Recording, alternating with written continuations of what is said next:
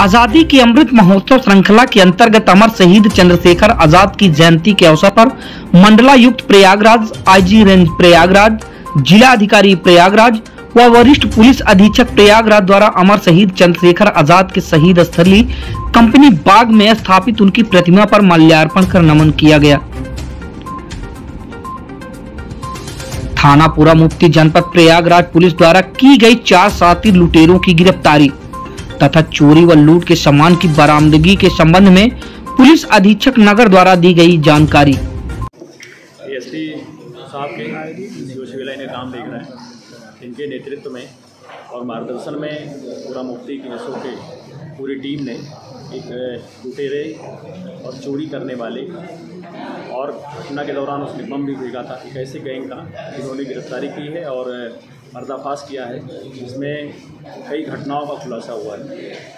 ये गैंग इसके लिए योजना बना करके सड़कों पर चलते हुए चेन स्नैचिंग कर लेना, मोबाइल स्नैचिंग कर लेते थे, और फिर उसको बहुत सस्ते दामों पर ग्रामीण अंचलों में उसको बेच दिया करते इस घटना में जो प्रयोग में मोटरसाइकिल भी लाई गई थी इनके द्वारा, वो भी चोरी की ही मोटरसाइकिल है।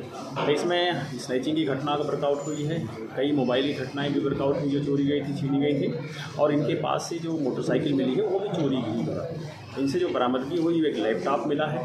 तेरह मोबाइल फ़ोन मिले हुए हैं मोटरसाइकिल मिली है और कुछ पैसे भी इनसे बरामद हुआ है। और इनसे जो घटना में प्रयुक्त बम अक्सर यूज़ करते थे, वो इनके गिरफ्तारी के दौरान भी मिला है। पूछताछ पर इन्होंने कई और घटनाओं के बारे में बताया है।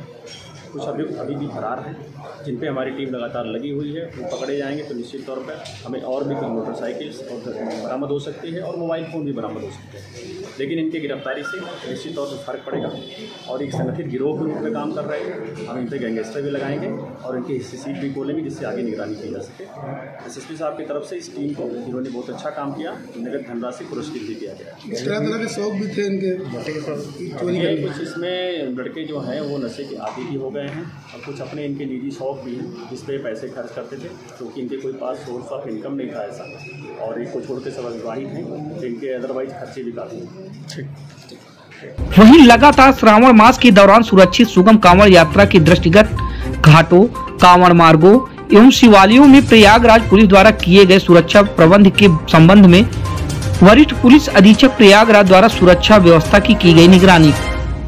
अभी श्रावण का पवित्र माह चल रहा है और सोमवार के साथ साथ मंगलवार को श्रावण शिवरात्रि भी है और इसको लेके काफ़ी संख्या में कांवड़िया बंधु जो है प्रयागराज से जल लेकर, मुख्यतः बाबा विश्वनाथ मंदिर में जलाभिषेक के लिए जाते हैं। उसके अलावा अन्य भी कई स्थानों पे कांवड़िया जाते हैं। उसको दृष्टिगत रखते हुए घाट की सुरक्षा व्यवस्था, रूट की सुरक्षा व्यवस्था और विभिन्न शिवालयों की सुरक्षा व्यवस्था सुनिश्चित कराई गई है। इसमें जो डिप्लॉयमेंट है हमारा वो सिविल पुलिस का कुछ स्ट्रैटेजिक लोकेशंस पे पीएससी का ट्रैफ़िक की डिप्लॉयमेंट है हमारी।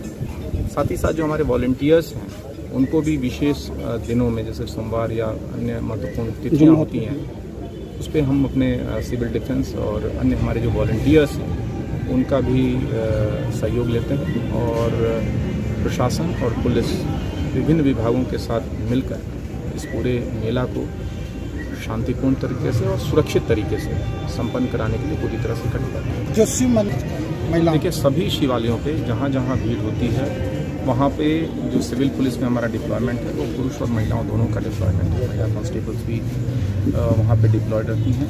सादे में भी हमारा डिप्लॉयमेंट रहता है, जिससे कि किसी भी तरह की अभद्रता और अन्य कोई आपराधिक घटना वहाँ पे जिलाधिकारी प्रयागराज व वरिष्ठ पुलिस अधीक्षक प्रयागराज द्वारा थाना समाधान दिवस के अवसर पर थाना सराय इनायत व हड़िया में जन सुनवाई कर प्राप्त शिकायतों के शीघ्र निस्तारण हेतु संबंधित को आवश्यक दिशा निर्देश दिए गए। ब्यूरो रिपोर्ट, दर्शक न्यूज़ 24